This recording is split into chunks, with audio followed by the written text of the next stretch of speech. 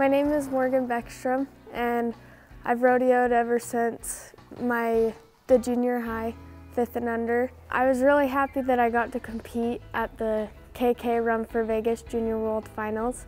So I've always told my mom that I wanted to qualify for it and oh it was super exciting just seeing everybody get there and it was everyone was just signing like autographs and everything and it's like it was like you knew that this was the big thing that everyone just came to everyone came to win and do good at it. So you were, had some pressure on you but it was really good.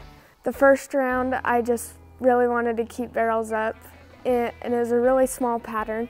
I've never ran in a small pattern like that. I was second the first day and second the second day with 13.9 uh, the first day and a 13.8 the second day. And the short go, I knew that I had to keep my barrels up to be in the average because me and this girl had ran the identical times pretty much the first two rounds. And we got to the short go and I was just like had a lot of pressure on me. But right when I went in the alleyway, I knew that Slingshot was going to do her job and do it for me. So I just went in, took a deep breath, and just let her go and she came out and she ran a 13.8 and I was super excited. I was really nervous, like my grandpa said, he goes, when I came out of the alleyway, he said, that's the most nervous I've ever seen you.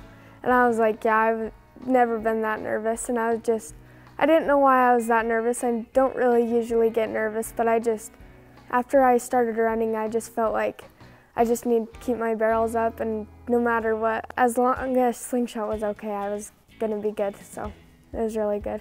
I've been riding slingshot for two years and those two years have been probably the most amazing years I've had and she's just done really good and she always puts 100% in every run and she always makes sure that that she does good and she's taking care of herself and taking care of me and I'm just really happy she does that for her and me. She is nine years old and she, her dad is the Goodbye Lane. He's our stud. My grandma and grandpa own him, and we've had him for a couple, a lot of years now, but we've bred a lot of horses to him, and we, we're riding a lot now out of him, so it's really fun. My grandpa has always said that I'd fit slingshot, and I, he's always said that I was a really aggressive rider, and she needs an aggressive rider, so I was really glad that I got to ride her. And I know every time she comes out of the alleyway, I always thank her and I'm just really excited that I get to ride her. But yeah, she's, she's a fun one to have. so I won the trailer and the saddle. I won a buckle case and then I won a Louis Vuitton purse and then uh, over and under and then like a hay bag, a halter, a breast collar, but I didn't know that I was going to win the trailer. And my sister was sitting in the stands, and I, I had got all my other prizes. And they all came down, and my mom started videoing, and I thought she was taking pictures of me, and I kept looking over at her. And then they announced that I won the trailer, and I had no idea, and I was just in total shock. but it was a really great feeling.